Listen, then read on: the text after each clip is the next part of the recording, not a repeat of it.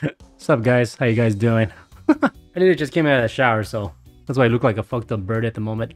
oh man, I was about to like not make this video, but I already filmed this event, so might as well put it to use so I don't, you know, waste footage. So me and the girlfriend, we went to a um, art walk with some friends and other good shit. Now where I live, we have like a lot of like downtown areas, you know, uh, Santa Ana, Orange, Long Beach area, some other areas that are a bit of a drive. And usually every month they always have like an art walk, right? Like usually one day out of the month, depending either like the beginning or end of the month, they always have an art walk. You know, basically a lot of like studios they open up their artwork or a lot of pop up booths. They basically uh, set up their merch, you know, art related stuff, and then they just, you know, sell the stuff, right? It's cool, it's fun. But the thing is that, like, you know, we've gone to these so often, like, after a while, they're very similar. So it's almost like there's nothing new in the sense of me, like, filming this shit and, like, uh, just talking about it. But uh, this event was different in the sense that, like, one of my friends actually, she um, had a booth set up, right? And we went to go and, you know, you know support her, visit her, and all the good stuff. And yeah, it's like, uh, I guess, like, the first time doing that, doing a booth or an art event uh, in Orange, right? Where this thing was at. Now, I'm all into the art scene. I love art, you know, I like museums. I like doing all that cool shit, right? But I didn't see too much art as I thought it would be, right? If anything, like, uh, this was up in Orange. Uh, it's a famous downtown Orange area in Orange County, but uh, you know, for the most part, like even a lot of stores closed early. It was like, yeah, it was like from one to five, uh, so it wasn't that big of a deal.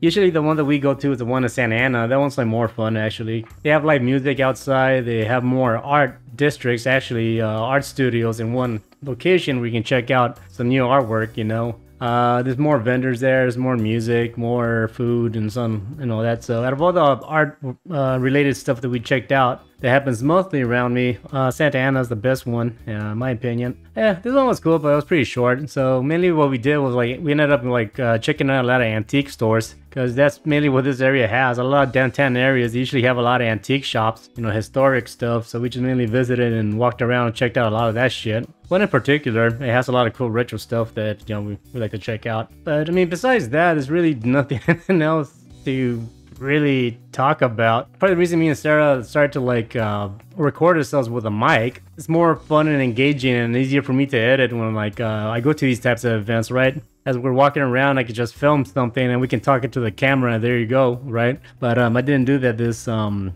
this time mainly because we are walking around with a lot of friends, right? So yeah, for the most part, like uh, this event was more of like hanging out with friends and like you know supporting a friend as an artist, right? So that was the main goal, and that's what we did. So you know, besides that, everything else was great. You know, I had a good time, but unfortunately, a lot of downtown areas where I'm at, like um, the charm of it of maintaining that like uh, downtown feel somewhat of a historic community is uh, it's definitely slowly dying just about every downtown area around me uh, has become almost like a hangout spot. You know, all the restaurants they turn into nightclubs and stuff like that, or restaurants they you know they say they're restaurants, but in reality they're just bars to hang out with and you know to have live music or DJs or shit like that. So I was like, yeah, I don't know. Same thing is happening with this area. It has that historic vibe to an extent, but at the same time it's like slowly morphing into like a uh, almost like a hangout night spot, really. You know, for kids, especially when there's like a, a, a school nearby it tends to be like the major fucking focus. It's like if there's a school nearby, then yeah, it totally becomes like a total party environment. Good times.